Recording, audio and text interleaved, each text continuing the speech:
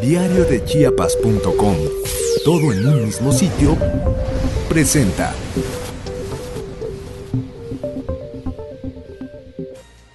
El presidente de Venezuela, Hugo Chávez, se mantiene consciente después de un largo proceso posoperatorio, informa este viernes el ministro venezolano de Información y Comunicación, Ernesto Villegas. En un mensaje dirigido a la nación, el ministro venezolano ofreció detalles sobre la salud del presidente, quien dijo presiente una cánula traqueal para respirar, lo que le impide hablar.